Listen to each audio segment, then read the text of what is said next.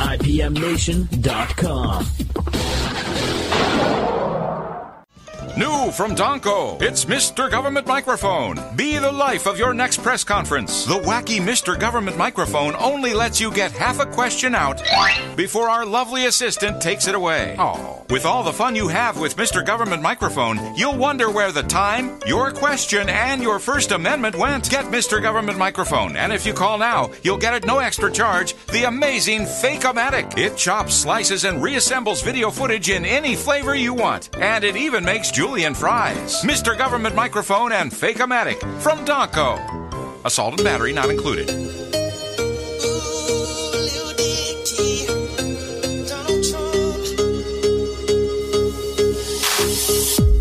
I woke up in the White House.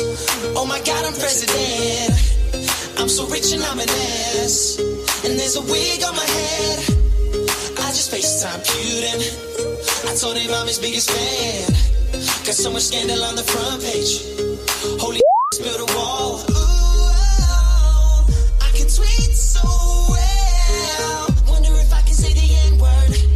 Wait, can I really say the N word? North Says Korea. who? North Korea. In North North Korea. North Korea. In North North Korea. North Korea. North Korea. North Korea. Says who? I woke up in Donald Trump's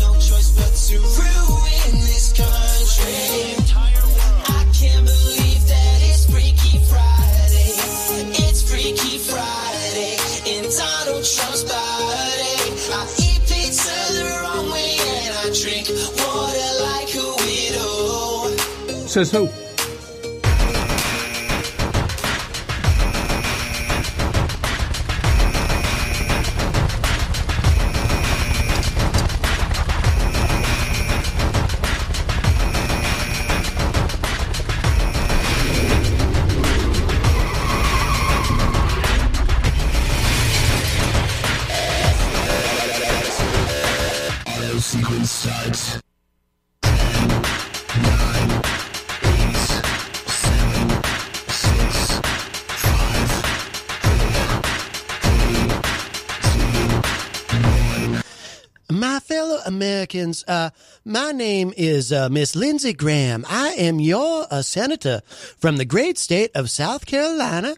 And I asked uh, Mr. Uh, uh, Carnation for just a few minutes uh, at the beginning of his program today to just address something that happened yesterday on his show right here on this very program, he had a guest host, my good close personal friend and former Attorney General of these United States, Mr. Jefferson Beauregard Sessions III. And I thought my good friend Jefferson was doing a lovely job. It was very, very good. I clutched my pearls and said, good for him. You go get him, Jefferson. But then something very strange and unexpected and undignified happened. While my friend Jefferson was hosting, this other gentleman, and I use the term very, very loosely, I I think his name was, uh, uh, Mr. Mr. Hooper or Mr. Hopewell or something like that. Uh, he comes charging into the studio while Jefferson is broadcasting and he started doing an impression and he started doing a very, very unflattering and very poor impression of yours truly, Miss Lindsey Graham of South Carolina. And I am not having any of that. It gave me the vapors just listening to him. He didn't even sound like me at all. He kind of sounded like, uh, almost like our former president, William Jefferson Clinton, but after he had had one too many cigars because his throat was very, very hoarse. So I mean one too many cigars in the more traditional sense, not the way that our former president would uh, use a cigar. I just made a little funny. I'm a funny, funny man. Anyway, I just wanted to take a few minutes at the beginning of Mr. Carnation's show to express and reassure everyone that that was not me, and I have no idea on God's green earth why my good friend Jefferson Beauregard Sessions III would even tolerate such an indignity and such a terrible impression of yours truly, Miss Lindsey Graham, Senator from South Carolina. I mean, he couldn't even get the state right that I was from. He kept saying West Virginia, which I took as a terrible personal insult. I'm a proud, proud South Carolina, I can't even say it, Carolinian, and I am your senator, your very proud senator from the great state of South Carolina. And I just wanted to clarify that for anyone uh, who may have been unsure. And uh, I only expected to take a few minutes, and then uh, Mr. Carnation was going to play the uh, the intro music on the program. But uh, uh, apparently, we have a call, so I'll go ahead and uh, oh, and there's no one there. All right. Well, anyway, I'm going to wrap up. I'm going to turn the uh, the microphone over to Mr. Carnation. I'm very, very, very grateful to him. Uh, this Southern Belle is very pleased. I'm going to go back to. Go back to uh, my fishing trip uh, with my close personal friend Marcus Bachmann, the husband of uh, former Congresswoman Michelle Bachmann. Uh, he's the one who does the, uh, you know, he does that gay therapy there, but we won't talk about that. So it's been nice chatting with you all, and uh, I do hope at some point to get a, some sort of apology from Mr. Hopstein or Hobson or whatever his name is. He was a, a very rude man, and again, I don't know why Jefferson put up with him for that entire time. I thought he did a great job, my good friend Jefferson. I hope to hear him again on the show sometime. But I will just leave you with this. Uh, God bless you all. God bless America. And of course, God bless our president, the greatest president in the history of our great country, Donald John Trump.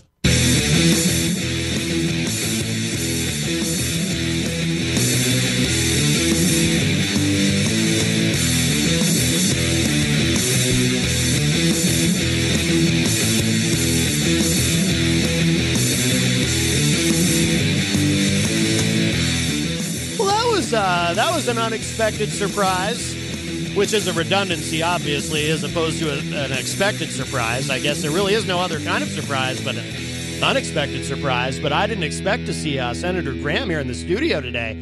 This is, uh, yeah. Next thing you know, we're gonna have uh, Trump himself in here. That would be amazing. But uh, welcome, it's uh, Matt Connarton, Unleashed in the afternoon, uh, on a very, very dark. It looks like it's already nighttime out. Since when does it, it, it- Seriously, it's like it's. It, it looks like it's the middle of January outside. I noticed that on the way here to the studio. I'm like, why is it so dark? I mean, I guess it's just a very thick cloud cover. I don't know. I don't know how this works. I'm not much of a meteorologist, but uh, yeah, it looks like it's uh, like two hours later than it actually is. It's very, very strange. I hope that's not uh, an omen of uh, of things to come. But uh, anyway, welcome. It is uh, Friday, November 9th, the year of our Lord, 2018. And uh, we have a call. Let's see who's on the line. Hi, welcome to Matt Connarton Unleashed in the Afternoon. Who's this? It's Mott the Hoople. Mott the Hoople. I'm a big fan of your work. And, uh, you know, uh, just to remind Not the you. band, the human being. Oh, okay. I'm glad you clarified Mott that. Uh, I'm glad you clarified that. I thought you were Mott the Hoople, um, whom uh, I believe uh, Kiss actually opened for on one of their first tours. But uh, yes, uh, what can we do for you, uh, Mr. Hoople?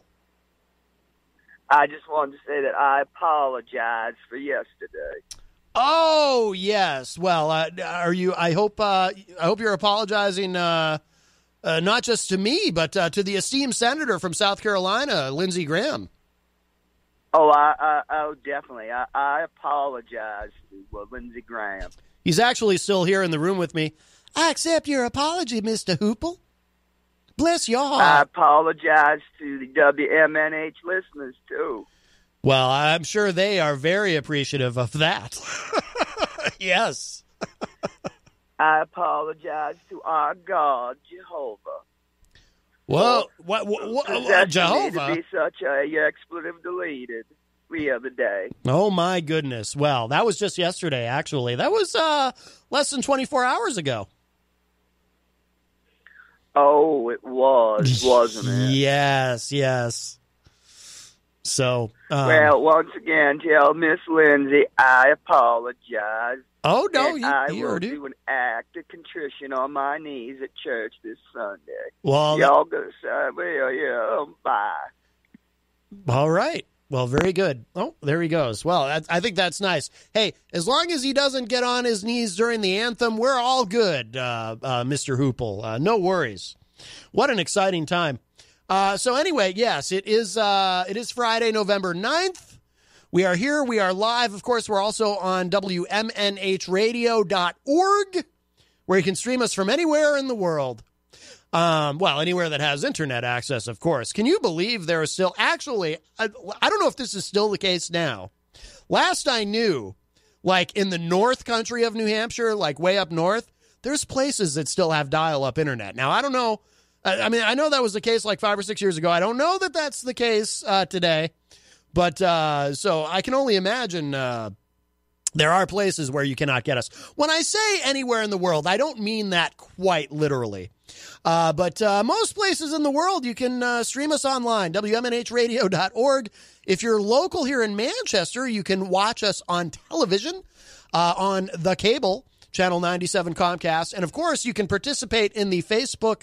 Uh, well, you can participate in the Facebook live chat while you're watching the show on Facebook on the Matt Connarton Unleashed Facebook page. If you haven't given that a like already, I would love it if you did. Uh, I see uh, Jenny is already in there in the Facebook live chat, as well as uh, Dr. Jeff Cassell, who uh, he called us yesterday and and, and uh, kind of uh, pushed back on some of what Jefferson Beauregard Sessions III was saying during the program. But uh, if you missed it, uh, it was quite exciting. I think that was my first ever guest host on the show. Uh, you know, he was he hosted for like the first hour and ten minutes, and then uh, I came in because uh, um, I was getting exhausted uh, listening to him, so I had to I had to interrupt and take back over the show. I had some errands to run and such, but uh, but to have a, a former attorney general here is very very exciting. I assume he's back in his home state of Alabama by now. But uh, if you missed it, of course, the archive is up and available at WMNHradio.org, where we do archive all the shows. Uh, 603 250 6007 is the number to call. 603 250 6007. Uh, Speaking of all the shows, of course, it was nice to, uh, you know, the whole crew was uh, was together last night. It was really cool at the NHAB, the uh, New Hampshire Association of Broadcasters Awards. Uh, the Granite Mike Awards is what they call them, the Granite Mikes. Um, we didn't win anything, unfortunately, but there is always next year. That's what they say in uh, that's what they say in sports, right? If you don't win, there's always next year. But um, or what does uh, what does Don Tibbetts uh, say uh, on the morning show? You don't have to be an athlete to be a good sport. So you know we we we're, we're good sports about it, but uh, but I do I am confident because we uh, I I believe that we have a team here that can uh, that can um well win stuff for lack of a better way of putting it. I I really do. I'm very proud of of not only uh, this program but all the shows here on WMNH. So it was really cool. So, of course, uh, Peter White from the morning show with Peter White was there uh, with his daughter, Abby, who is frequently on the show uh, with him. Um, so always nice to, to see them hang out. And uh, let's see, also Rob Azevedo from Granite State of Mind, which is immediately following this program live at 6 p.m. here on WMNH. Rob was there. Uh, Justin from uh, Just in Time for Sports, which is on Wednesdays after the show at 6 p.m., uh, was there. Of course, the Dions, Ben and Daryl Dion from the Weekly Dion were there. And am I forgetting anybody? I think that was everybody, right? A couple people sitting at the table, I, I didn't know, and you know, but uh, I, I think they were just trying to get in. I, I think there are a couple people trying to get in on the action here at WMNH, some interlopers, if you will. I don't think that they were actually interloping. I'm just, I've always had a fondness for that word. What a great word, interloper. I just, I'll use any excuse to use it or any variation of it. I'll talk about interlopers, interloping, uh, or uh, what, what would be another variation of that? Uh, I don't know, interloped, I don't know. whatever. Uh, anyway, so that was a great time uh, last night, and congratulations to everyone who did win.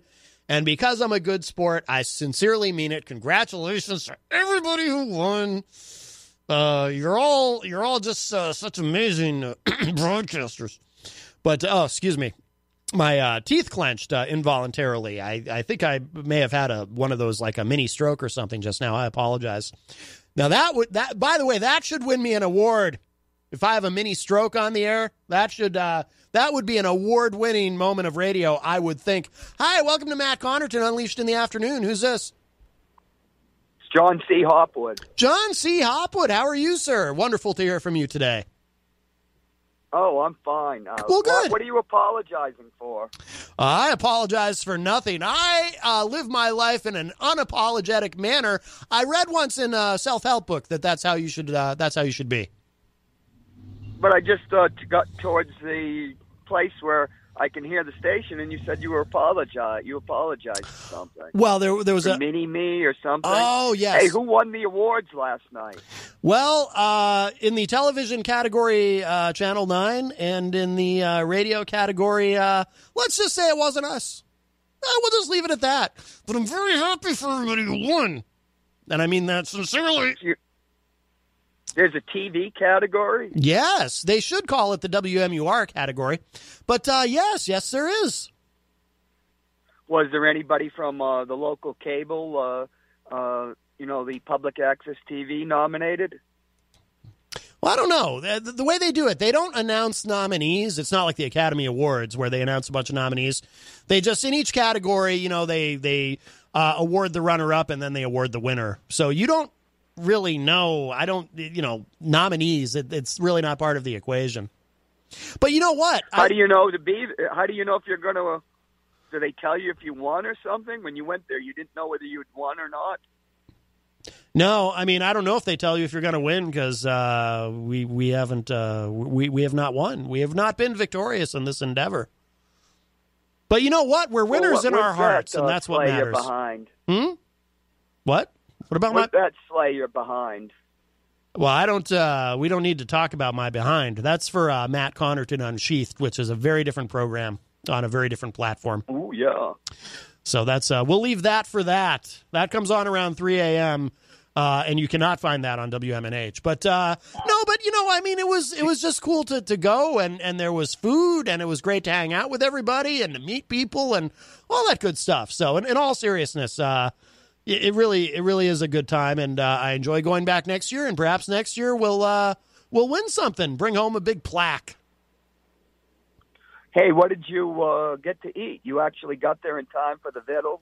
Yes, there were still vittles when I got there. Yeah, yeah, that's true. I did technically have to get there a little bit late because uh, it started at 5 p.m. and of course I don't get off the air until 6 p.m. and then I had to to rush over there. Fortunately, this year it was locally here in Manchester. Last year I had to run to Concord, but even last year going to Concord, I still got there in time for. There were still plenty of vittles uh, available. I had some great uh, some roasted potatoes, some pasta. It was uh, it was quite delicious. Some a great salad. It was uh, I uh, I stuffed myself as I do in these uh, instances. Hey, if there's free food, I don't even have to like what's being served. I'm just like, that's free. Give me some of that. That's literally what I say when I walk in. I see the buffet table and I point it and I go, that's free. Give me some of that. Some people find that rude, but again, as we established earlier, I live my life without apology. But I thought you did apologize. Well, I did not apologize. Mott the Hoop, uh, I'm sorry, uh, uh, Mott Hoople, uh, the uh, gentleman who was here yesterday, uh, apologized, and uh, I, I think it was heartfelt. I think he was very sincere, and I think he was uh, very contrite. It was the almost the, the kind of apology you'd hear from a politician who uh, gets caught with his proverbial hands in the proverbial cookie jar. It was lovely. Well, that must have been edifying. It was very edifying. It was uh it was uh uh, you know because you know yesterday he was a bit of an interloper if you know what I mean. And I love that word. He was interloping. He interloped. What does interlope mean? Like loping is like a type of step or something. You know, he was an interloper. He was like loping uh like an intruder, like an in, like an invader, like these uh, these migrants who are coming to interlope into our country and murder us all and and uh, take over America. You know, interlopers. I thought, I thought that now that the midterms are over, that uh, our favorite president is no longer talking about the caravan, and neither is Fox News. Oh, he's talking about it so much. He uh, he has taken action to uh, to uh, greatly limit the amount of uh, asylum seekers who will be allowed into the country because uh, clearly we're all in terrible danger with this caravan, which is still I don't know how many hundreds of miles away, but. Uh, the uh, the most prosperous uh, country on earth uh, can't possibly afford to uh, you know help these people. Apparently, I have a. Uh, we're going to play a word association game. Ooh, how fun. In, in honor of the morning show. oh okay. I'm going to say a word, and you say the first thing in your mind. Why are we doing something in honor of the morning show? Is it because they didn't win anything? Because I didn't win anything either. So it's it's a bit of a sore subject around here. But yes, go ahead. Well, Peter White was the first and I think only person who's ever, you know, hosted your show besides yourself. Oh my God, I forgot about that. I okay, no, I'm glad you brought that up because I was wrong earlier when I said that Jefferson Beauregard Sessions the third was the first guest host I ever had. You're right. There was an instance where I couldn't be here that Peter White was here. You're right. So uh, the, the former Attorney General Maybe is should've- actually the second person. And yes, I will apologize to uh, to the great Peter White You for should that. apologize to your audience. I, I I I will. I apologize to the Let's audience. I, I apologize to the audience. I apologize, but more importantly, I apologize to Peter White. I had forgotten that. And by the way, you were here for that. You were here with him when he guest hosted my show that time. I completely forgot. I forgot. Hey, my memory doesn't go back that far. Well, yes. I mean, this was more than a year ago. Are you ready? Oh, right, the word association thing. Yes, I'm ready. It might be a little, uh, you know, gamey because you, you know, about Miss Lindsey and all that. Oh, Miss Lindsey Graham of South Carolina. Okay, I'm going to say the word and then I'm going to get off the phone. Okay. Ready? yes. Yardstick. Um, and then he hung he, he hung up as promised. Now, I, I think the way word association is supposed to work is you say the first thing that pops into your mind. Uh, ruler. I don't know. I, I feel like I was supposed to come up with something clever there, and I got nothing. I got nothing. You can't put me on the spot like that, though. It's not how I perform. I am not a dancing bear. Uh, hello to uh, Heidi Hamer, who joins us in the Facebook live chat, or should I say, Representative elect Heidi Hamer. yes, yes. She won her election. And by the way, now I don't know if this counts, but I think it does because we mentioned the other day on the show Elizabeth Ropp was on the show, and then the next day she won her election for Register of Probate. Clearly, if you don't mind me taking credit, uh, clearly getting the Matt Connarton Unleashed in the Afternoon bump. Uh, Heidi Hamer is a frequent uh, a, frequent uh, listener, and she calls. She does call once in a while, usually to yell at uh, Mr. Hopwood if he's on. Uh, but she's almost always in the Facebook live chat. Does that count? I think it does. I think that Heidi got the Matt Connarton Unleashed in the Afternoon bump and was propelled to victory. Congratulations, Heidi. Uh, John Midas Manning, also known as DJ Midas, is in the uh, Facebook live chat, and he also has a show. Actually, he was um, he was not there. I knew there was someone uh, conspicuous by their absence from the uh, WMNH family last night at the event. But uh, yes, of course, late night delay. Maybe I really did have a stroke a few minutes ago. My goodness. Late night delight with uh, DJ Midas, of course. Saturdays and Sunday nights at midnight right here on WMNH 95.3. I recommend it highly. Uh, let's see. So there is much to discuss. Oh, uh, Heidi says, "Oh, thank you for the award. I'm honored. You are very welcome, Heidi. You earned it." All right. Wait, an award? Hey, is that a dig? Is that a dig because we didn't win any awards last night? No, no, no. I'll I'll take I'll take it as in the spirit that I believe you intended it. I don't want to read into things and and you know because people do that. Uh, let's see. Again, I'll give the number 603 250 6007. If you would like to join us today, 603 250 6007. And don't procrastinate. Remember, it is Fridays. Fridays, we wrap up a little bit early because we do have Granite State of Mind live at 6 p.m.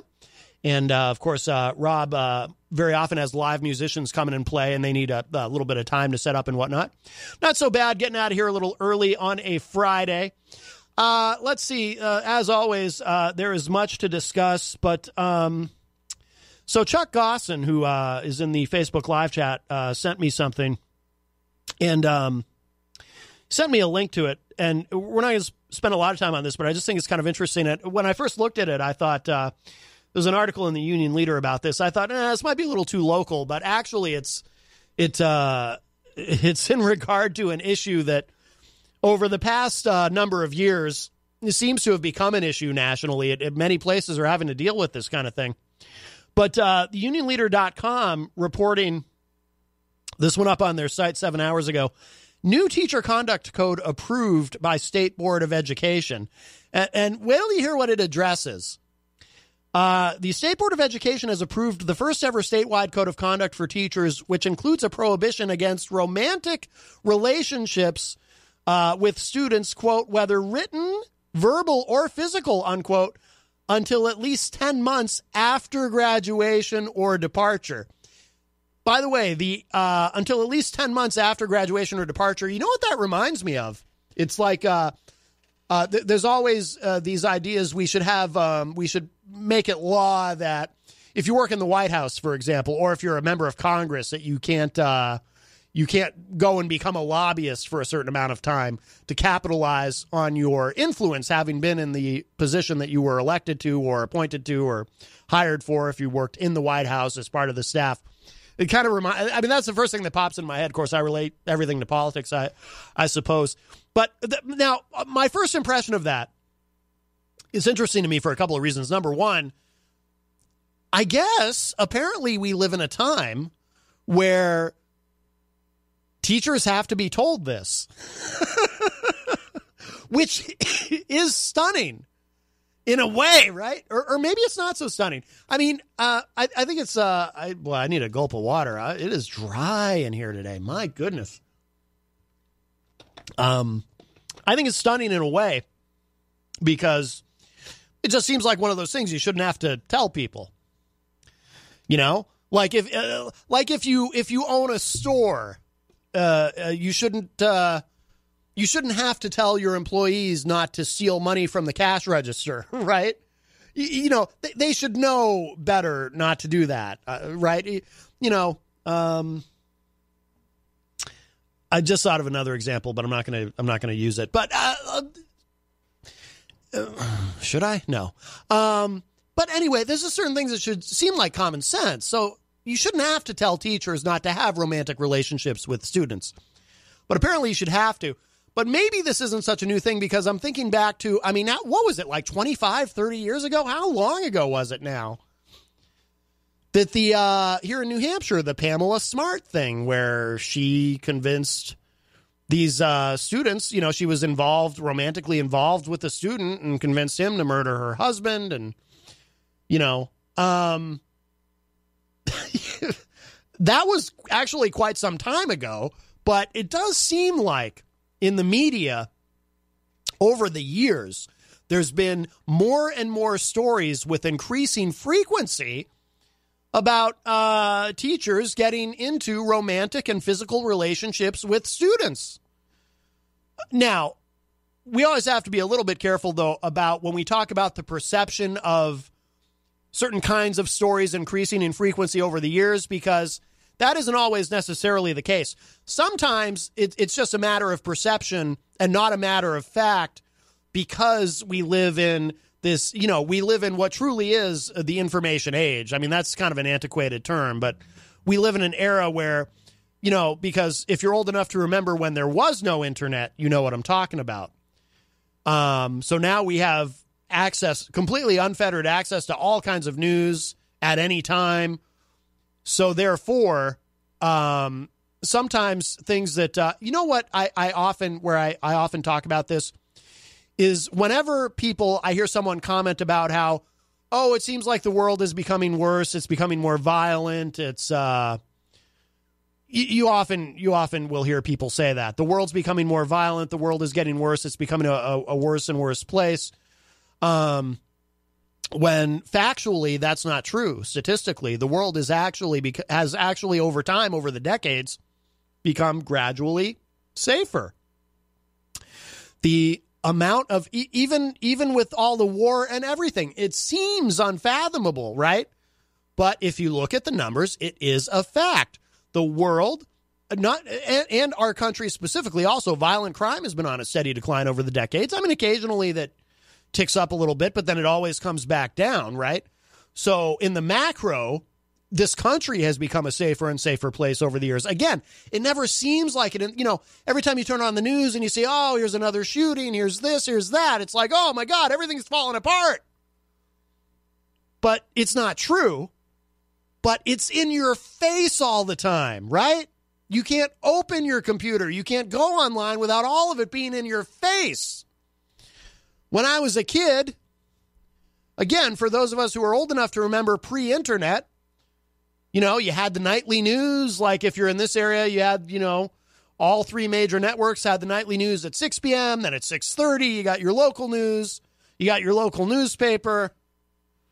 You know, so it's not like you were cut off somehow from all the horrible things that go on in the world or in the country or in the state or in your city.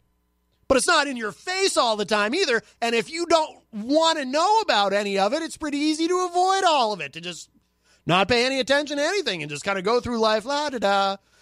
Nothing bothers me because I don't know about anything bad that's happening, right? Now you can't, even if you have that mindset, good luck, right? I mean, you can't go online without seeing something. So I wonder, have we, uh, have we had more and more instances of teachers getting involved with students over the past 20, 30 years? Or does it just seem like that? Because now we, you know, if it happens anywhere in the country, we hear about it, we read about it, we see a, a see it online, regardless. Um. Oh, hello to uh, Fred Bonig in the Facebook live chat, who says, "You mean like Monica Lewinsky? The family attended Sinai Temple in Los Angeles, and Monica attended." Uh, uh, let me read it on this computer. Actually, it's a little it's easier because it doesn't. The screen doesn't keep flipping on me. Sorry. The family attended Sinai Temple in L.A. and Monica attended Sinai A- Akiba. I'm not sure if I'm saying that right. Academy. It's religious school. Uh, for her primary education, she attended the John Thomas Dye School in Bel Air. She then attended Beverly Hills High School. Uh, but for her senior year, transferred to and graduated from Bel Air Prep later in 1991. Following high school graduation, Lewinsky attended Santa Monica College, a two year community college, and worked for the drama department at Beverly Hills High School and at a little shop in 1992. She allegedly began a five year affair with Andrew Bleiler, uh, her married former high school drama instructor. She already began a five year affair with. Uh, okay. So I'm a little confused, Fred. Are you so? Are you saying Monica Lewinsky started this affair when she was his student? Is that what this all means? Because I'm a little unclear. There's a lot of information there, and I'm a I'm a talk show host. I I, I can't uh, I can't process it all. Um, but I think that's what you're saying. So, but apparently, now Fred's typing a series of question marks. Yeah, I'm a, I'm a little confused, Fred, too. So, are you, I, I guess I guess you're saying Monica Lewinsky had a romantic relationship with a teacher. Um, so let's see. So, getting back to this, so again, this was from the New Hampshire State Board of Education. So, the the provision uh, is included in more than 22. Okay, yeah, she was sleeping with her drama teacher. Okay. Uh, the provision is included in more than 22 pages of new rules that have been approved by the Legislative Committee on Rules and will now take effect after Thursday's unanimous b- vote by the board. In addition to rules governing contact with current and former students from preschool to 12th grade, the code addresses accepting certain gifts, uh, altering assessment results, and inappropriate use of social media. Uh, inappropriate communication shall be determined by considering the intent, timing, subject matter, and amount of communication, according to the new rule. The code of conduct is based on a code of ethics that was adopted earlier in the year at the direction of the state legislature. So I'm assuming that the reason communication, the, the reason we have that part of it, is because with social media and whatnot, you know, and and we have texting, which you can use for sexting and all that. Um, some of you will remember a, a local scandal, in fact, that, uh, to be fair, did not involve a student, but it did involve um, someone who uh, is on the school board. Um, we won't mention names, but uh, so that has become a thing, right? So someone may not necessarily be romantically involved in a physical way with the student, but if there's there might be some other inappropriate communication going on.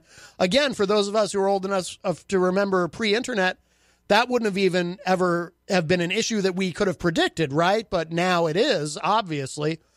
Um, I mean, there's been stories in the media of, of nude pictures being texted back and forth between students and teachers and things like that.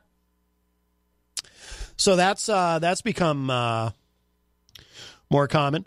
Uh, while the code of ethics deals with broad principles, The code of conduct approved Thursday describes actual behaviors that violate those principles, along with the processes for enforcement, investigations, and disciplinary proceedings.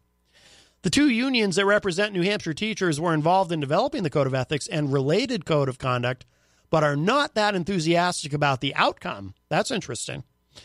Uh, Doug uh, Doug Ley, president of the American Federation of Teachers affiliate in New Hampshire, said his group does not favor a statewide approach to such an issue.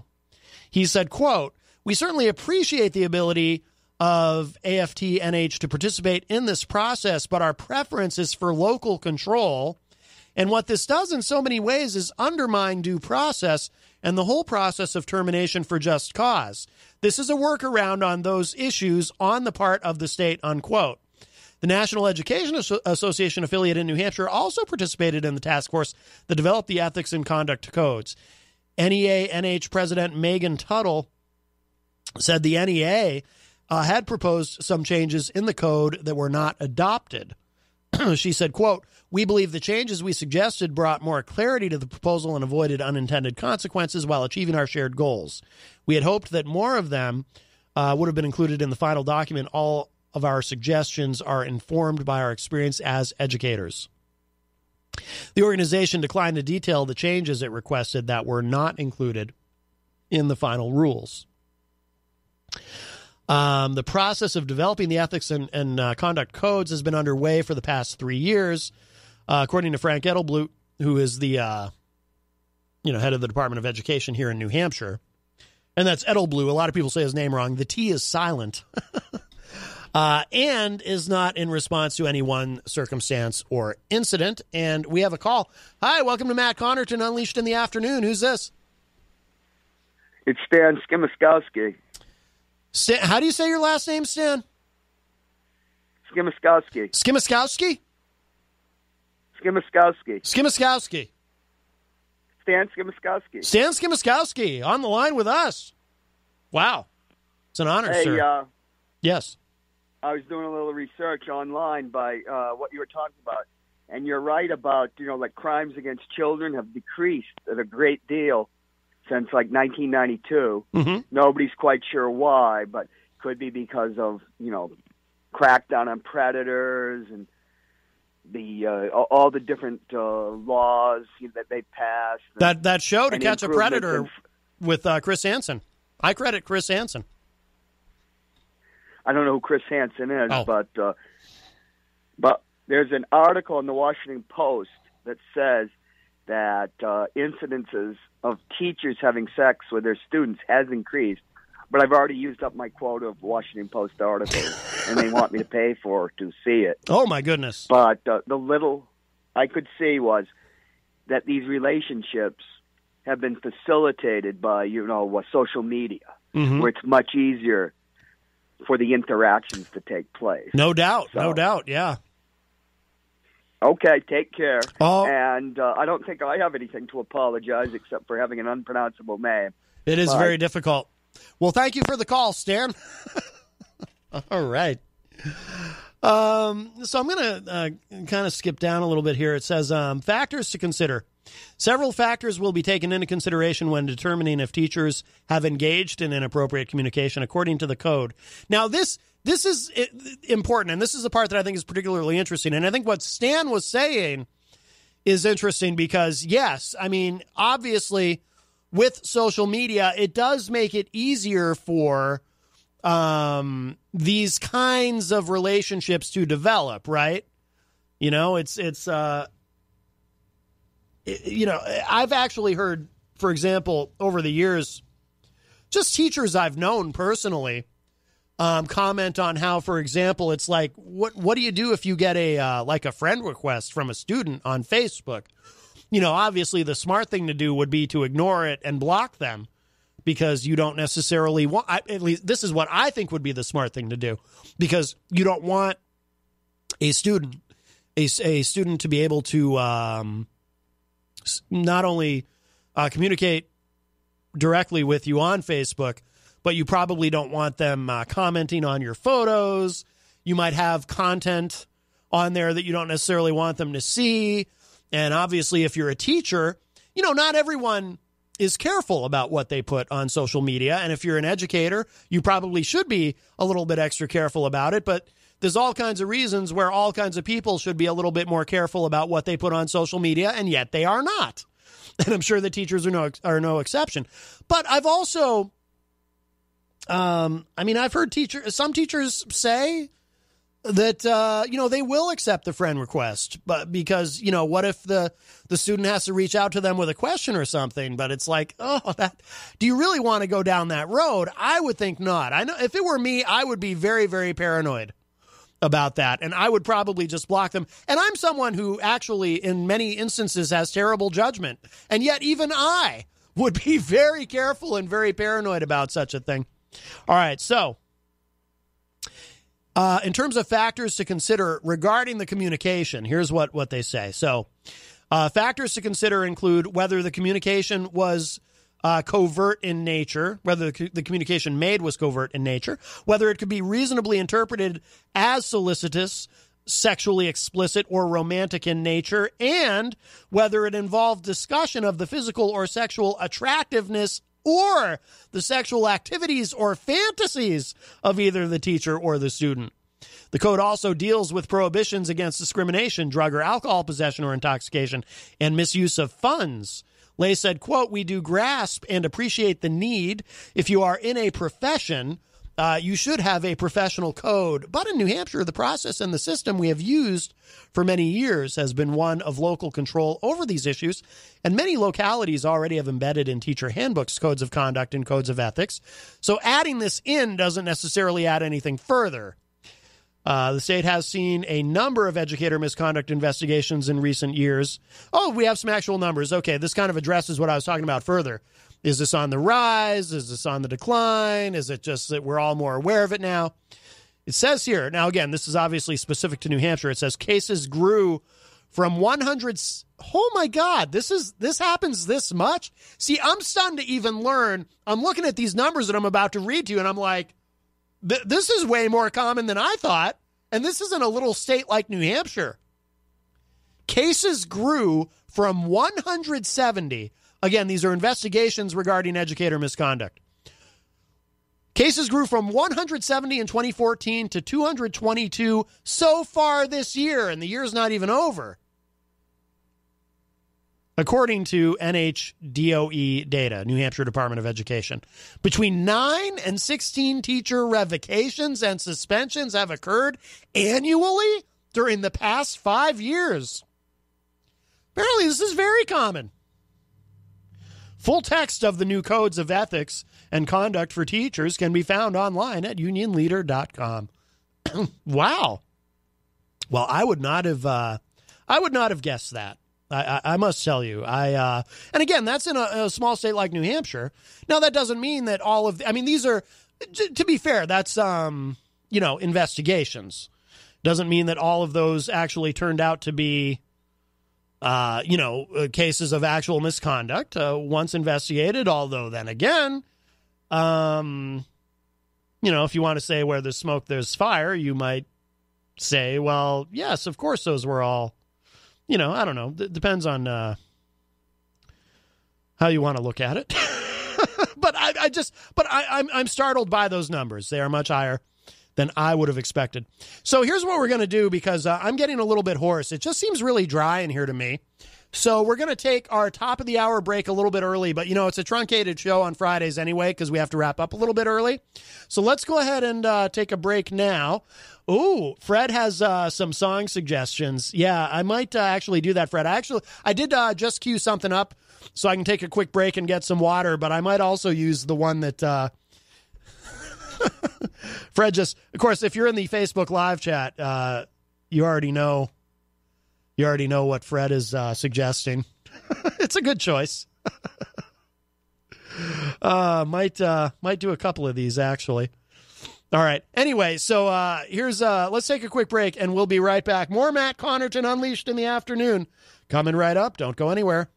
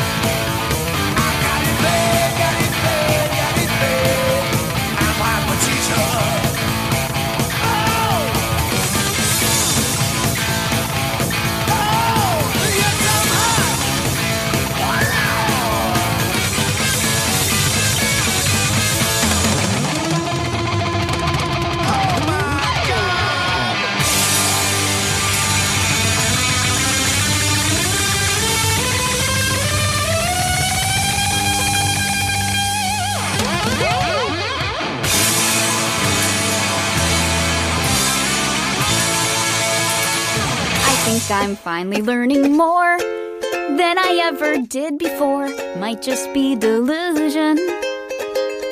And if you ever call my name, I would never be the same. Come to this conclusion. Stop, go, heck no, I don't think so. I just wanna be with you tomorrow. And the next day, and the next day after. Oh, hey, I just wanna say you're looking very fine today and every day. Wish and hoped it would come true. To be with you, to be with you. You look so handsome in that sweater vest, but a bathing suit would suit you best when you're on vacation. And when you're talking about the deficit, I know I shouldn't mention it. There's just too much temptation. Stop, go, heck no, I don't think so. I just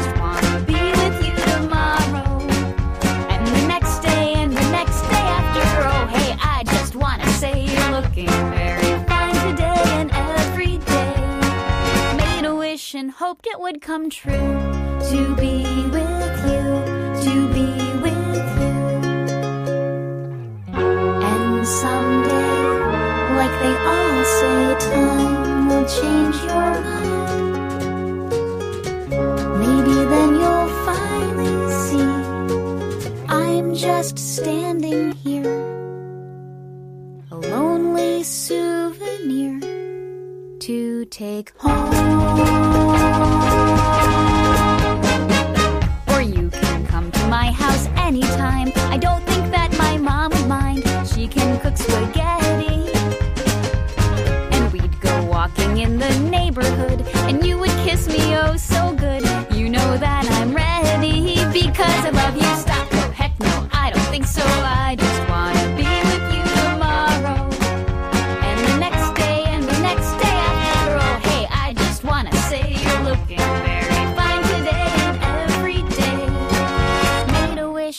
hoped it would come true. To be with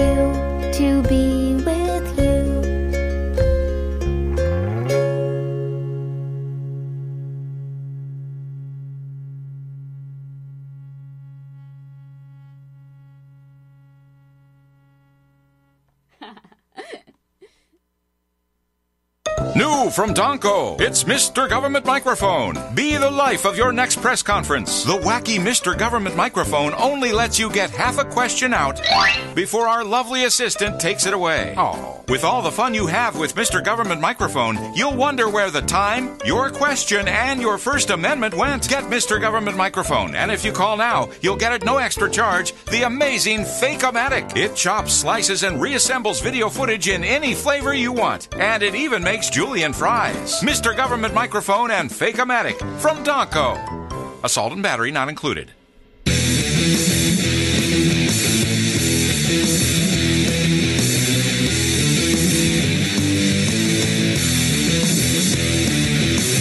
Hello, everybody. Welcome. It's hour number two.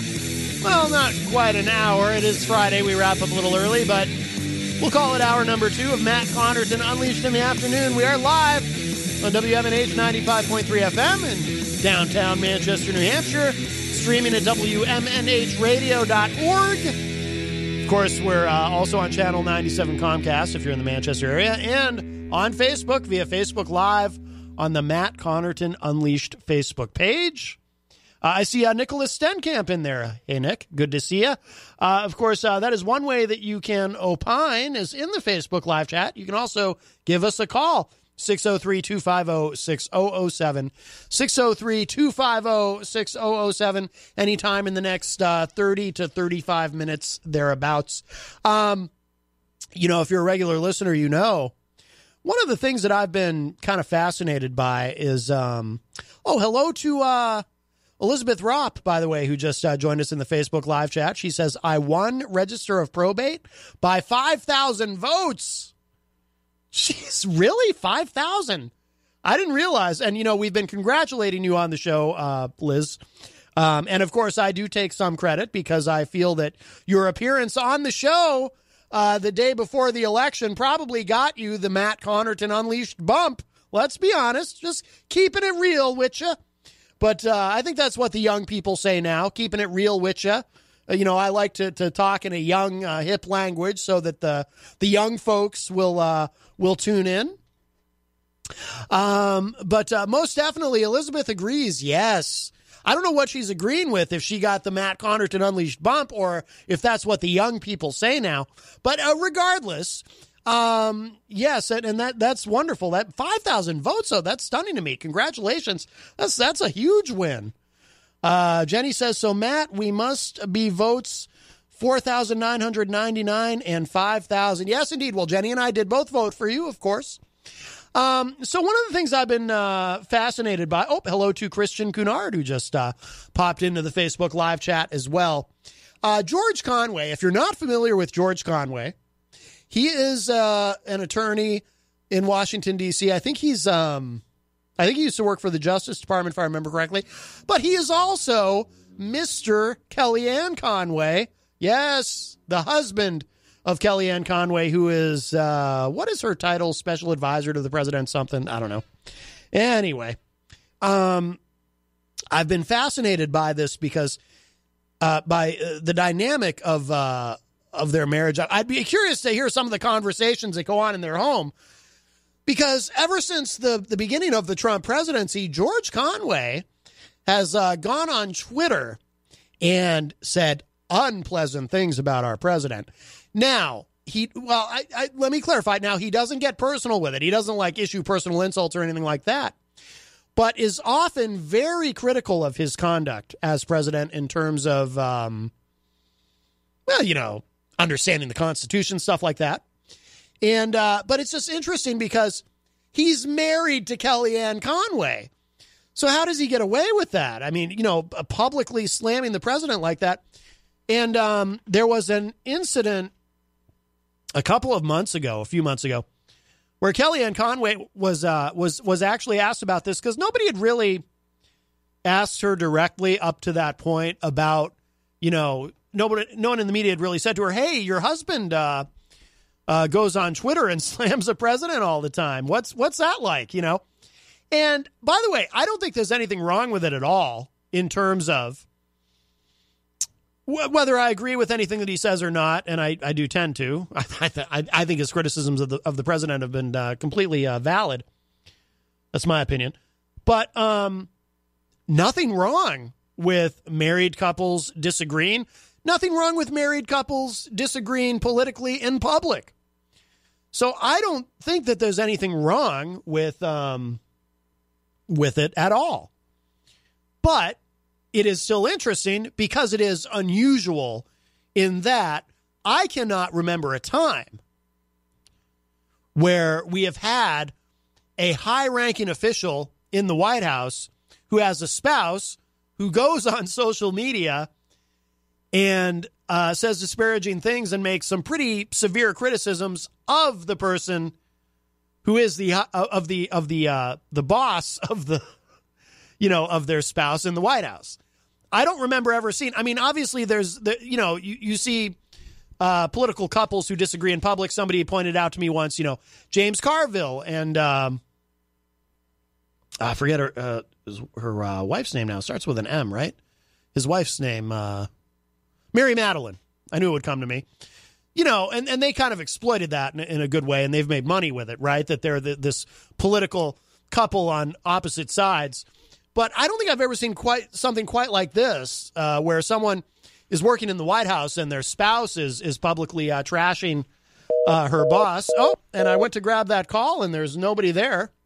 Um, so I've been kind of fascinated by this. And uh, oh, phone's ringing again. We'll give this one more try. Hi, caller. Are you there? Yes. Who's this? Does, it matter? Deep throat. Deep throat. Well, that we don't discuss deep. That's for the. That's for a different show. Those kinds of discussions. That's for uh, Matt Connarton Unsheathed. And again, that's on a very different platform, not WMNH. I just wanted to say that Martha Mitchell, the wife of John Mitchell, when he was the Attorney General of Nixon, and uh, then John Mitchell stepped down to be the head of the committee to reelect the president, which people called creep. Mhm. she would often uh, uh, make uh, phone calls to uh, uh, journalists and say disparaging things about Nixon. But that was a little Really? before your time. That was before my Yeah. time. Now, but would she do that? Um, would would she do that on background, or would or would would she actually be quoted? No, as, as herself. that's interesting. Wow. Okay. I'll be damned. It was considered uh, very out there at the time. What uh, like what was the reaction like? Was uh, d- did her husband? Uh, I mean, did did he ever like publicly say anything about it? Like I don't know why she does that, or anything, or what was his reaction? I uh, it was a long time ago, Yeah. and I would just be probably making something up. I don't really re- I don't really remember the reaction, Yes. and, Yes. or that I could separate it from my own reaction at the time when I was just a kid. right. But right. Martha Mitchell, okay, take care, bye. All right, thank you.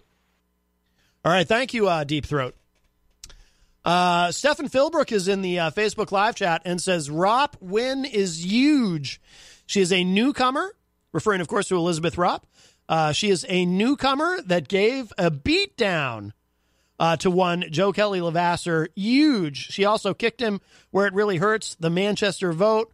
Hmm. This should. Uh, this should. Uh, she should be considering uh, alderman at large next year. Well, I agree. Hi, welcome to Matt Connarton Unleashed in the afternoon. Who's this? It's Jenny. Hey. I have a riddle for you. a riddle. Okay. Riddle me this. Why do Republicans not get elected in the state of New Hampshire? Why did they not get elected in the state of New Hampshire? Yes, I don't know why. because their get out the vote arrived in the mail today Oh, really? with a complete copy of the ballot and voice your vote for New Hampshire and who to vote for. And don't forget to vote. Your vote matters on Tuesday, November 6th. What's today? Well, see now, if I were uh, if I were a Republican, my response to you would be, "Now, see, that's because the democratically controlled post office delivered that late." Oh, give me a break. It's because the Goobas didn't send it out in time. Plain Well, and simple. well, yeah, that does uh, that does have an effect. I'm I'm quite certain. Yes. Um, I'm pretty certain too, but I, I just thought you'd get a kick out of that riddle. Yes. Well, thank you so much.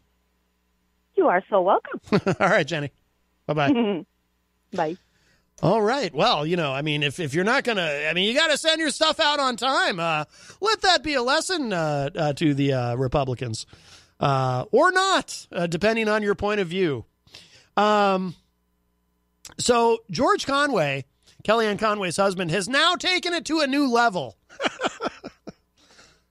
oh, forgive me. It's so dry in here. I'm going to take a quick gulp of water here. Mm.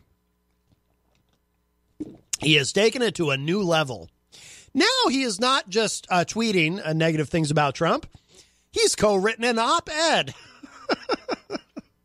saying that um, Trump making the Whitaker. Well, this is from uh, Politico.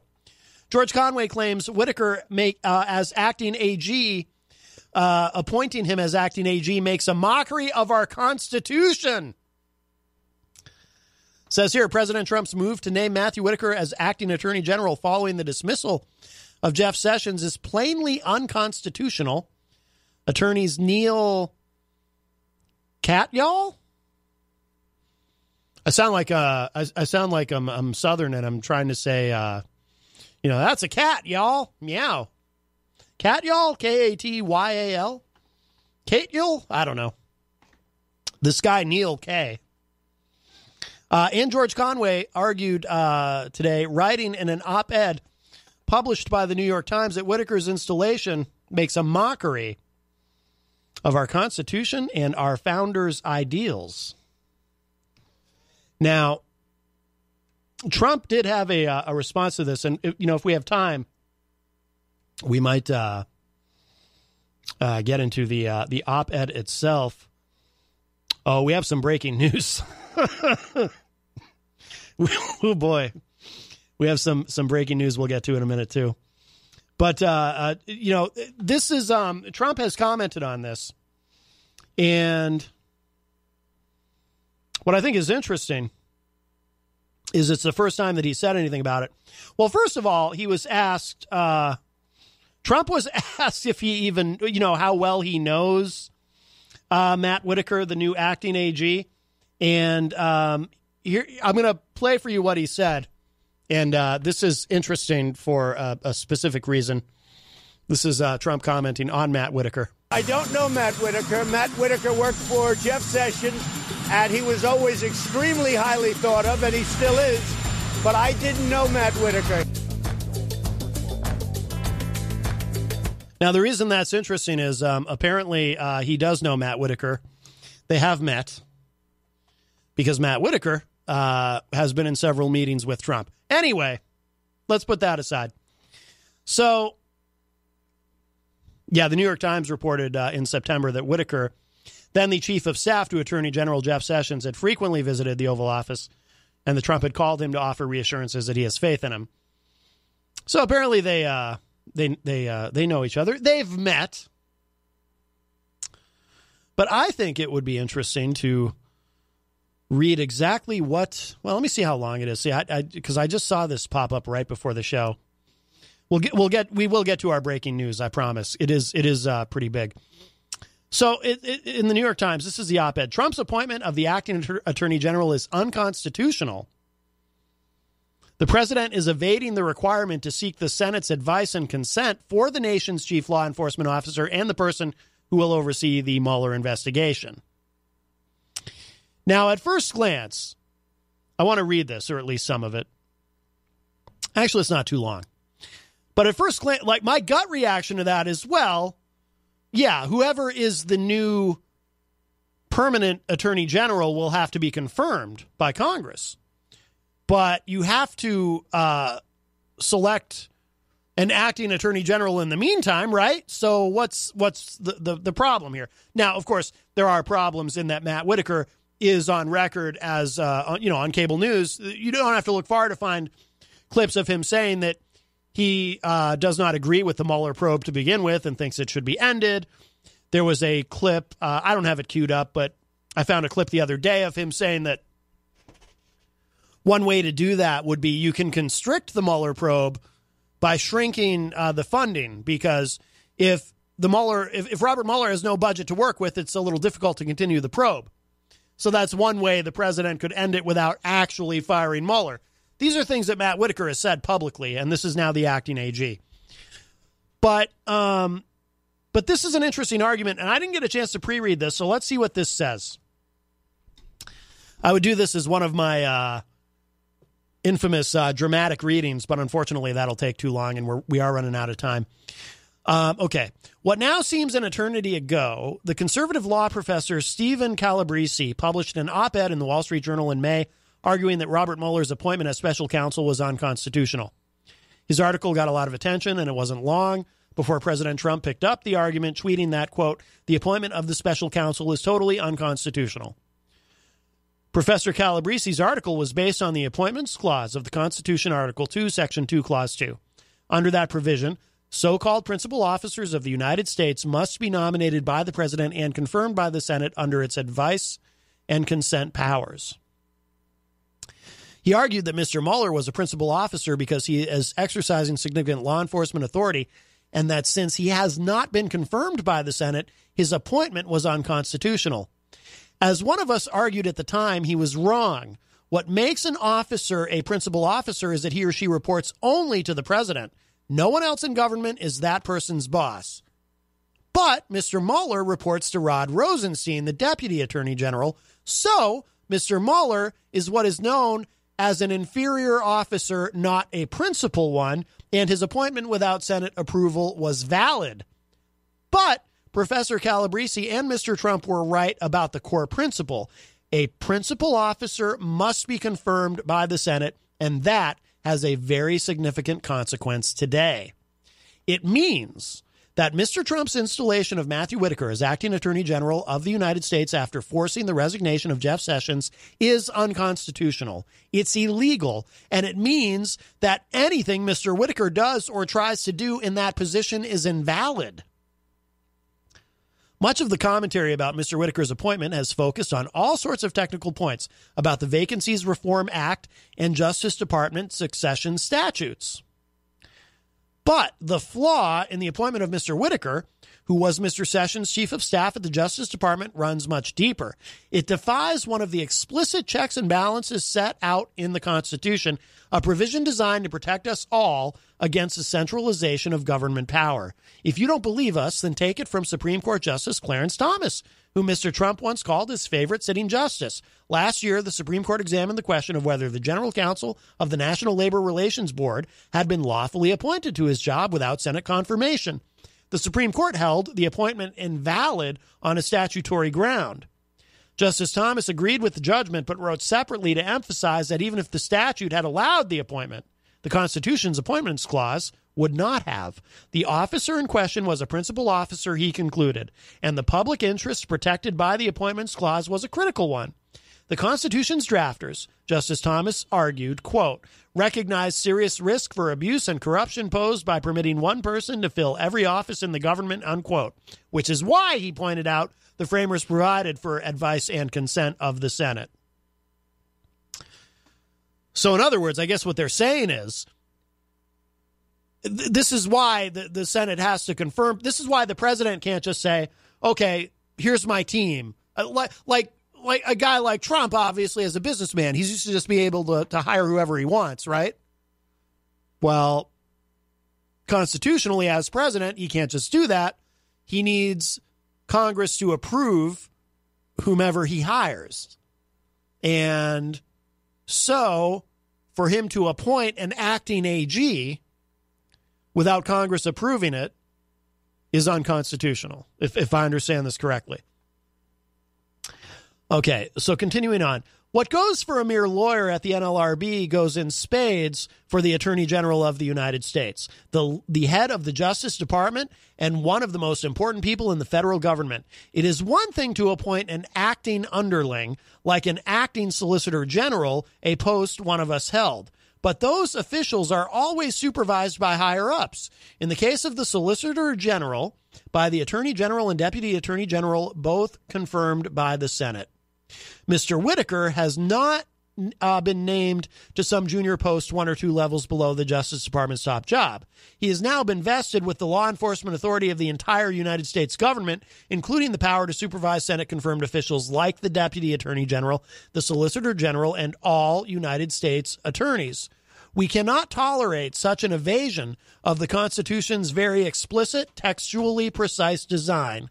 Senate confirmation exists for a simple and good reason. Constitutionally, Matthew Whitaker is a nobody. His job as Mr. Sessions' chief of staff did not require Senate confirmation. Yes, he was confirmed as a federal prosecutor in Iowa in 2004, but Mr. Trump can't cut and paste that old lapsed confirmation to today. For the president to install Mr. Whitaker as our chief law enforcement officer is to betray the entire structure of our charter's document. In times of crisis, interim appointments need to be made. Cabinet officials die, and wars and other tragic events occur.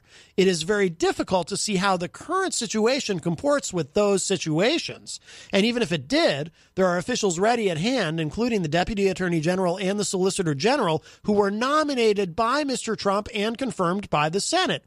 Either could step in as acting Attorney General, both constitutionally and statutorily. Because Mr. Whitaker has not undergone the process of Senate confirmation, there has been no mechanism for scrutinizing whether he has the character and ability to even handedly enforce the law in a position of such grave responsibility. The public is entitled to that assurance, especially since Whitaker's only supervisor is Trump himself, and the president is hopelessly compromised by the Mueller investigation. That is why adherence to the requirements of the Appointments Clause is so important here uh, and always.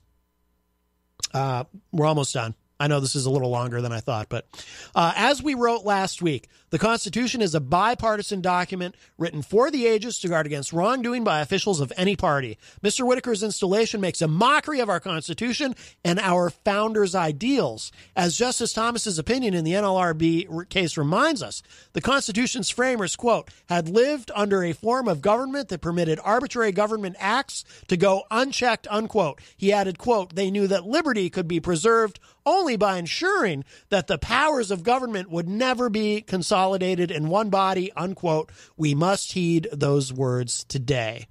So that is the op-ed by uh, George Conway and this other gentleman, Neil Katyal. Katyal, I'm not sure how to say that name. And it, it's a point of view that I think has been largely left out of the discussion, you know, um, in, in terms of the reaction to the uh, appointment to acting AG by Trump of Matt Whitaker. Because most of the reaction is centered on, you know, well, the negative part of the reaction, the negative reaction is centered on is this, uh, you know, are we witnessing the Saturday Night Massacre a la Richard Nixon in slow motion? Now, Whitaker becomes acting AG. Next, Whitaker will end the Mueller probe either by firing Robert Mueller or by doing what he himself had once suggested on cable news as a means of ending the, the Mueller probe by essentially starving it, right? Starve the beast. You you cut funding to the point where Mueller has no budget to do anything, and that effectively ends the probe. That's where most of the reaction and the discussion has been focused. And um, you know, Conway and and his uh, uh, associate here are making uh, simply a constitutional argument that um, no, you can't. Uh, Matt Whitaker was not, you know, he, he's not, he's not already he hasn't already gone through the confirmation process like a Rod Rosenstein, for example. So I think what they're kind of saying without saying it is, shouldn't Rod Rosenstein be the acting AG, not Jeff Sessions, former now former chief of staff? Very very interesting. I think it's interesting. I hope you think it's interesting. But again, on top of that, right, or or really the undergirding of all of it is the uh, I'm just fascinated at the way George Conway, like I said, he's now taken it to a new level because his wife has to go to work every day for the president, and I just find that dynamic fascinating. Welcome to Matt Connarton Unleashed in the afternoon. Who's this? Well, it's Stanky, Stanky. the flower pot queen. Oh, Stinky. Yes, yes, uh, yes. Go, go ahead. Stanky. yes, yes. Go. And I have nothing to apologize for. Right. Of course. Of course you don't. You have Elizabeth Robb's phone number? She's blocked me on social media. Well, that might be wise. You know, she's very busy these days. She's the uh, newly elected register of probate. You will? I don't know if she got the vote for Nashville, but she's having a birthday party. I want to get to her. Okay. Well, I, I, I uh, yeah, I, I do not have that. You're no Uh, help at all. I apologize for that. Wow. You know, I try to help. I try to help. She's a regist- registrar of probate, right? Did I say registrar or register? Sometimes I say register. I mean to say registrar. But you know, as I always say, I, I think I'm suffering from adult onset dyslexia. So please don't hold it against me. Uh, the breaking news that I referred to earlier is um, Jeff Flake is floating a uh, a GOP primary run against Trump, which means he's probably running because that's not something you float. That's not something you you know. I mean, you can do a trial. You know what they call a trial balloon, which is where you kind of put something out there into the ether and then just kind of gauge the reaction to it, whether it's going to fly or not. Politicians do that all the time, but something like this, you don't usually put that out there unless you're definitely uh, getting in or, or almost definitely getting in. So he's probably getting in. But I've been saying all along too. I would definitely expect a, a, a Jeff Flake to be running for president, certainly at some point in the near future, because he's been to.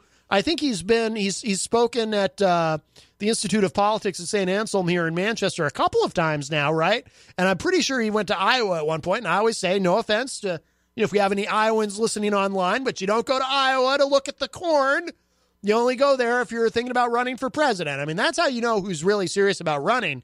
You you, look at their travel patterns, right? Are they coming here? Are they going to Iowa? Well, that, there you go. That's you don't really get a bigger clue than that. Uh, Politico is reporting at this hour. This is breaking news. Jeff Flake floats GOP primary run against Trump. Somebody needs to run, he said. The retiring Arizona senator isn't ruling out a 2020 bid. John Kasich or Ben Sasse would be good too, he said. Ben Sasse would be very interesting. Ben Sasse of Nebraska, young guy, um, very articulate, I think, and he's he's figured out a way to be very critical at times of Trump without infuriating his own base and causing his constituents to turn against him. Because typically, the only Republicans in Congress that you see ever saying anything critical of the president are those who are not up for reelection, right? Those or those, or I, let me be more specific: those who are definitely not running again, who are on their way out. Jeff Flake, he said, "Look, I'm not running for reelection in Arizona because I can't even win my primary because I've been so critical of the president." You know, and there are there are others who've been critical of the president. There are very few, very small numbers, but they weren't planning to run again, so you know they're getting out of town anyway, so they have nothing to lose. In other words, it's only those who've had nothing to lose who dare speak ill of Trump in any way, right? Um, it says here uh, Jeff Flake said today that a Republican needs to challenge Donald Trump for the Republican presidential nomination in 2020, and it might be him. Flake gave at least some credence to the widespread speculation that he might mount a primary campaign against Trump, given the retiring senator's public fretting about the state of the party. The Arizona GOP senator, who has visited New Hampshire recently, is decidedly keeping his name out there. He said today in a lengthy conversation with Politico, quote, I've not ruled it out, I've not ruled it in, just somebody needs to run on the Republican side, unquote. John Kasich and Nebraska Senator uh, uh, Jeff, uh, sorry, uh, uh, John Kasich. Um, oh, I'm sorry. Flake said that both uh, John Kasich, the Uh, soon to be former uh, Ohio governor, and uh, Nebraska GOP Senator Ben Sasse could give Trump a credible challenge. Flake insisted that Trump's popularity in the party is ruining the GOP's long term viability and predicted only a brutal electoral loss could make that clear. Flake said, quote, I hope somebody does run just to remind Republicans what it means to be conservative and what it means to be decent. We've got to bring that back. You can whip up your base for a cycle or two, but it wears thin. Anger and resentment are not a governing philosophy, unquote. Now, there's more to this, but let me just say this. Um, I will make a prediction. Whoever it is, because it's going to be somebody, whether it's Flake, whether it's Kasich, whether it's Ben Sasse, whoever it is, is not going to matter. Donald Trump will be the nominee again. He, uh, I mean, assuming he runs again, assuming he doesn't find some excuse not to run again.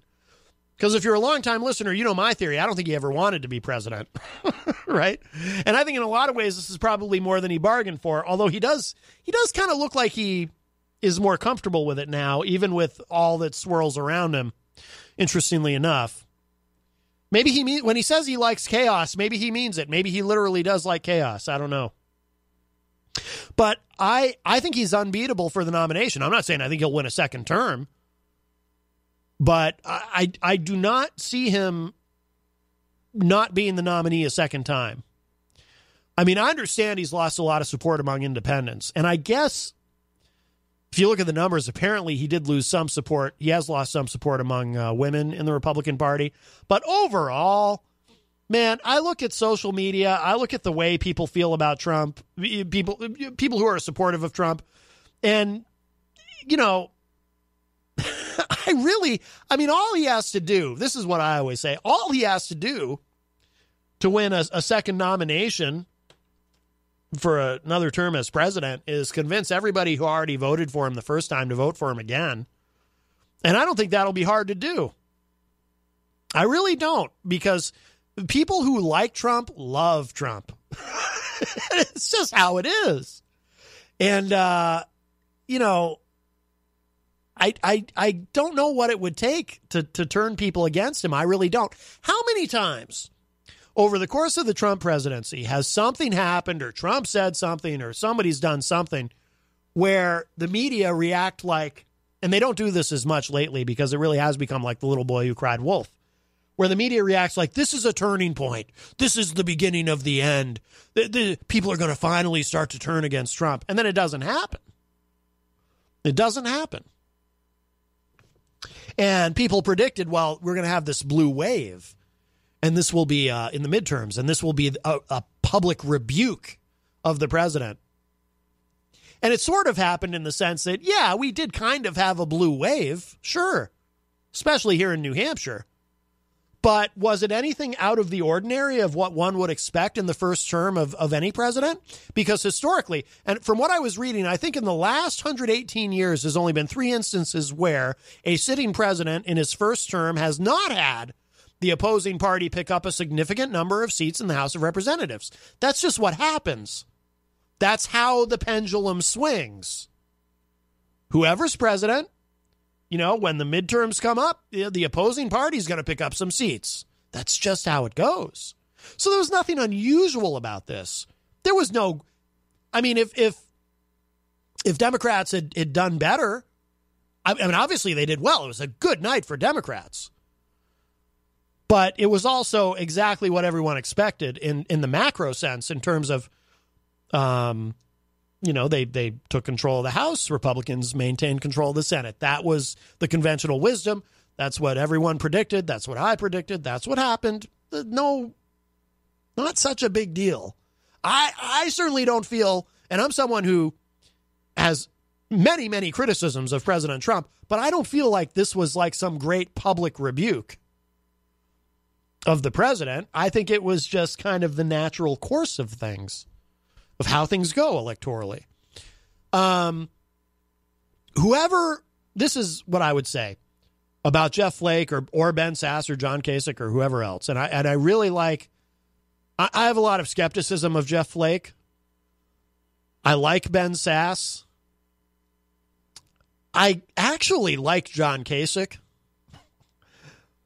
Um, eight or ten years ago, I couldn't even imagine myself saying that, but but I do.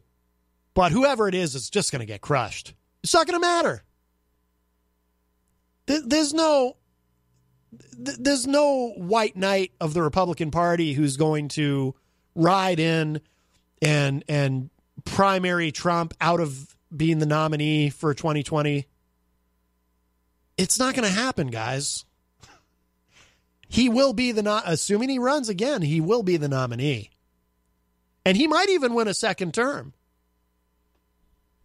But um, I mean, this is fantasy stuff. You know, God bless him for trying. Because, you know, Trump says and does a lot of things I don't agree with, but it, it, it is fantasy stuff.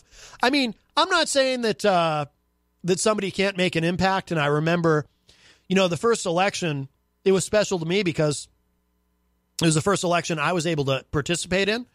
The first election I was ever old enough to vote in was 1992. And you know, here in New Hampshire, we saw Pat Buchanan challenging George H.W. Bush for the nomination. And Buchanan damn near almost beat George H.W. Bush in the New Hampshire primary that year. I think it was actually, I think it was a statistical tie. I think they each got 50%, if I remember correctly. And it was jaw dropping. But a statistical tie does not a victory make. And, you know, and of course, then next you got Iowa, and Iowa things were a bit more normal. And, you know, then of course, George H.W. Bush went on to be the nominee for a second term and lost to uh, William Jefferson Clinton and so forth. But, I mean, you know, it'll be exciting to watch. I do hope somebody steps up because it'll be fun to watch. It'll be fun to talk about on the show. I look forward to that. But, uh, but don't expect it to be like a serious challenge. Boy, I, I feel like I'm ending the show on a down note. I don't mean to, but we do need to start to wrap up. Of course, Fridays we uh, we conclude a little bit early because coming up at 6 p.m. live here in the studio is Granite State of Mind, hosted by the great Rob Azevedo, and he usually has live musicians come in and play during his show. They need a little bit of time to set up and sound check and all that. So we scoot out a little bit early. Not a bad thing. We get the weekend started uh, a little bit early. Uh, so I will talk at y'all next week. If you missed any part of today's show, it will be up and available in just a little bit at WMNHradio.org, as are all the shows here at WMNH archived on that site. Just uh, click the podcast link and you can enjoy them at your leisure and relive all the glory of today and all these uh, great shows that we have here. And uh, that's it for now. I'm out of here. Everybody have a great and safe weekend. It is a holiday weekend, Veterans Day weekend. So uh, happy Veterans Day in advance. And if you're traveling, uh, be careful and all that good stuff. And I'll talk at y'all a little bit later. Bye, everybody.